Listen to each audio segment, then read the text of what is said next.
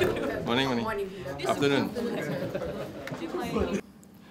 Kementerian Kesihatan ingin memaklumkan bahawa sehingga 12 tengah hari 4 Mac 2020 terdapat 14 kes baru telah dilaporkan.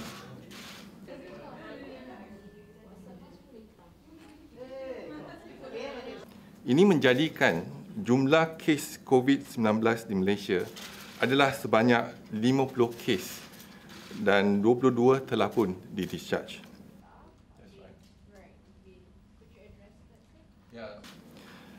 Setelah 11 hari tiada kes baru dilaporkan, gelombang kedua bermula pada 27 Februari 2020. Process of uh, contact tracing is ongoing. Uh, so, as we mentioned earlier, that One more this side, on the right. Okay.